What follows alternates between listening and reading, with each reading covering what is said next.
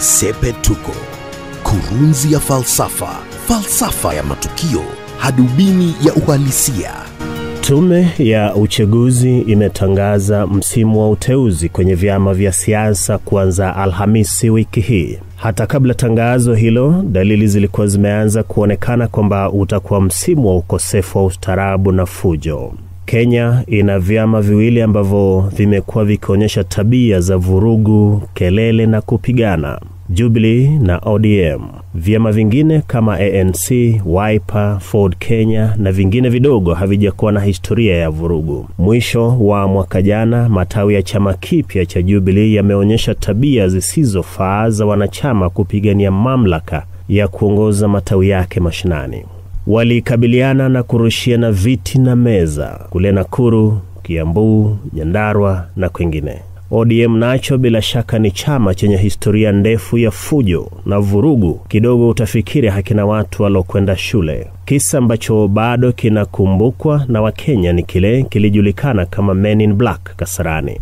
Kundi la watu wasiostaarabu waliwasili kwenye ukumbi na kuvuruga uchaguzi wa viongozi. Baadaye ilifichuka kwamba aliyekuwa katibu Ababu na Mwamba alikuwa akipigwa vita kutoka ndani ya ODM. Ujumbe uliotia uzito madai ya William Ruto kwamba ni chama cha jamii fulani na mtu fulani. Wiki jana kiu cha wanachama wa ODM tena kuhusika vurugu zimeonekana Migori na katika makao makuu ya chama Orange House. Mpango wa naibu kiongozi wa chama Hassan Ali Joho kumpigia debe Junet Mohamed mjini Migori ulitibuka baada ya kundi jingine la nyuso zinazokosa ustaarabu kuwasili likiwa na silaha butu kama vile mawe. Baadaye gavana wa eneo Okoth Obado alitamka kwamba maseneta Orengo na Nyong'o wasiwahi kukanyaga guu lao Migori. Kidogo ungefikiri Migori ni shamba la Obado. Juma hilo hilo katika Orange House kulikuwa na ushenzi mwingine. Seneta maalum wa kike aliwasili akizungumza Kiingereza, tena kingi. Ana jina la Kiingereza ambalo kwa desturi za Waingereza hupewa msichana mrembo,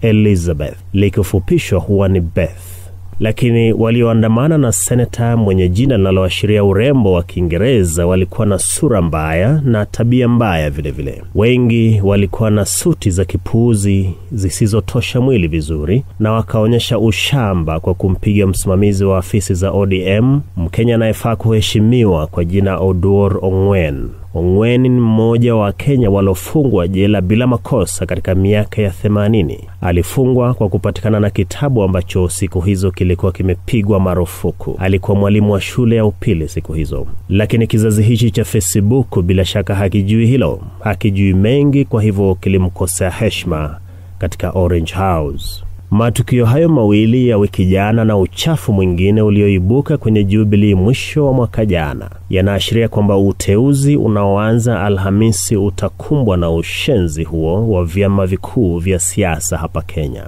Na ndiyo nitasema hivi kwamba kauli mbiu ya Sepetuko wiki hii ni kukuarifu kwamba ustaarabu sio kuzungumza Kiingereza, Kifaransa na Kijerumani, sio kujenga miji na kuishi mijini siyo kujenga barabara kuu, kutafuta digri ya tatu ama nne, ni kuonyesha heshima kwa uhai. Kuheshimu uhai ni kutompiga mwanadamu mwenzako, iwe kwa mawe au fimbo, kutoua, kuonyesha heshima kwenye mazungumzo na matamshi kwa ujumla, maana mwanadamu huwa ni roho inayoishi mwilini. Civilization is not about building cities and superhighways or speaking foreign languages. It is to respect human life. Likiwa juma la kuanza uteuzi vyamani, wanasiasa na wafuasi wao hasa katika ODM na jubli waanze kujifunza moja ama mawili kwenye mbinu za kustaarabika. Ifahamike kwamba kiti cha ugavana ni kimoja tu katika kaunti, kwa hivyo hakitawaendea wote, lazima awe mmoja tu. kustarabika ni kuelewa kwamba kupoteza ndiyo hali ya ushindani, wala isiwe kichocheo cha fujo na kupigana, kana kwamba dunia inaanza na kuishia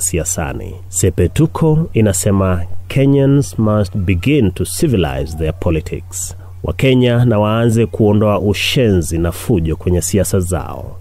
Siasa zinafaa kuwa mchezo wa ubongo, sio kurusha mawe na viti ukijaribu kuzungumza Kiingereza. Uteuzi huu na uwe wa ubongo, sio hasira na fujo. Na ndilo Sepetuko. Mimi ni Wellington Nyongesa.